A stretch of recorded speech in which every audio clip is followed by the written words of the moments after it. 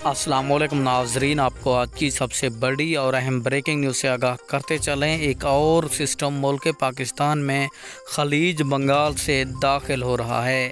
तो महकमा मौसमियात ने ताज़ा तरीन रिपोर्ट शेयर कर दी है।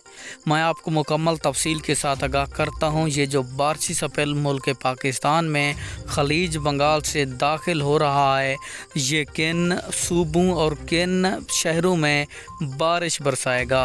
तो मुकम्मल डिटेल जानते हैं। उससे पहले वीडियो को लाइक और चैनल को सब्सक्राइब लाजमी कर दें ताकि आपको हमारी नई वीडियो सबसे पहले मिलती रहे।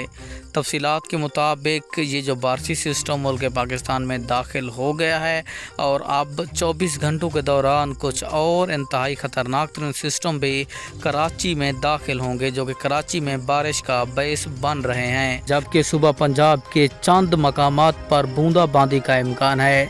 जबकि ज़्यादातर सुबह पंजाब के मैदानी इलाकों में मौसम गर्म और मरतूब रहेगा। सिंध में मज़ीद बारिशों की पेश गोई